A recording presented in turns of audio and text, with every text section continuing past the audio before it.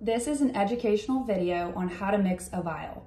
Items included are alcohol pads, either a 3 ml mixing syringe or a 5 ml mixing syringe, one bacteriostatic water vial, injecting syringes, and the vial itself. Okay, now I'm going to show you how to actually mix it.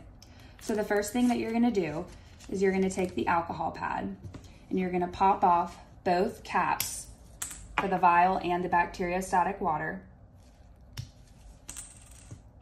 You're gonna take the alcohol pad and you're gonna wipe the top of both for five seconds.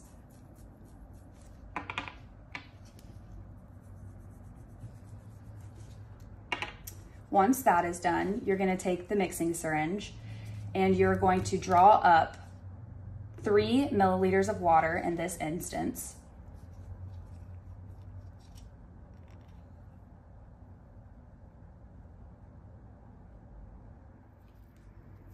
Then you're going to inject it into the vial.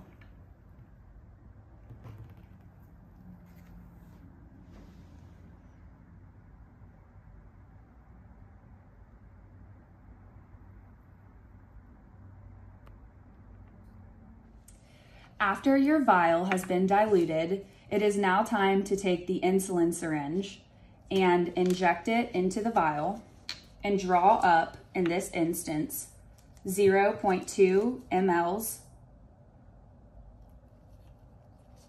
which is also 20 units.